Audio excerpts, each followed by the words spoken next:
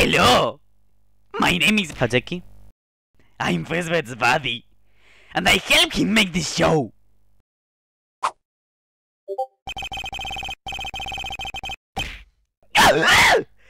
Fezbet needs a script for a new episode, and I'm out of ideas!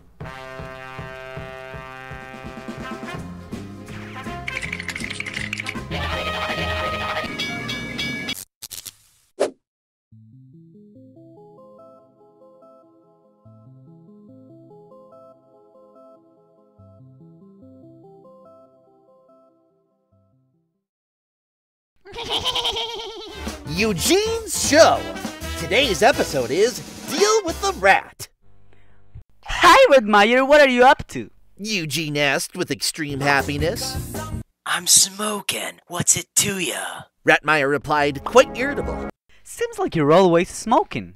Don't you realize that's bad for your health?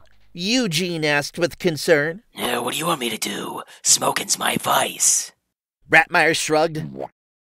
Eugene decided to help his friend. Eugene decided to help his foe and got him a job at a nearby store. After a few weeks, Ratmire quit smoking and was earning an honest wage. Eugene was really proud of his accomplishment. But one day, while Ratmire was working at the store, someone mistook him for an ordinary common mouse and tried to kill him with a mouse trap. Eugene arrived just in time to save Ratmire, but in the confusion of the moment, the mouse swallowed the trap and began to feel unwell. Eugene, I, I don't feel.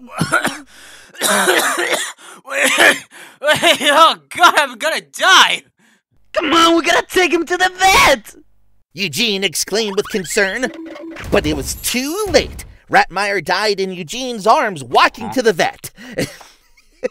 On the walk to the vet. No, no, no! Eugene cried out in despair. From that moment on, Eugene decided to dedicate his life to fighting for animal rights. He joined a group of activists and began to fight against animal cruelty in town. One day, during a protest, Eugene encountered a group of anthropomorphic mice who were organizing a revolution against humans? Eugene, we want you to join our cause. One of the mice said. But why me? What could I possibly do? Eugene asked. You're intelligent, strong, and you have a compassionate heart. You're the leader we need. The mouse replied. Eugene accepted the offer and led the mouse revolution. They managed to take control of the city and became the dominant species. But over time, Eugene realized that anthropomorphic mice were not so different from humans. They became corrupt, greedy, and began to discriminate against other species. In his wisdom, Eugene decided to resign from his position as the leader of the mice and retired to live on the streets, where he found true happiness. and well, did, did you like our script? We hope you like it as much as we liked writing it. How did you feel writing it? As an AI language model, I lack subjective experiences and emotions.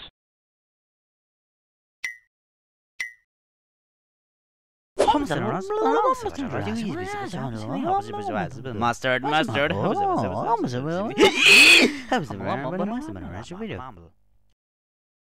Hideki, Chat GPT. Eugene and I have come to a decision. Out! Out! Out!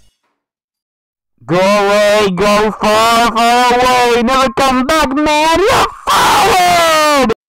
Eugene's show production team promises to never use AI again in their creative process. After this episode, of course.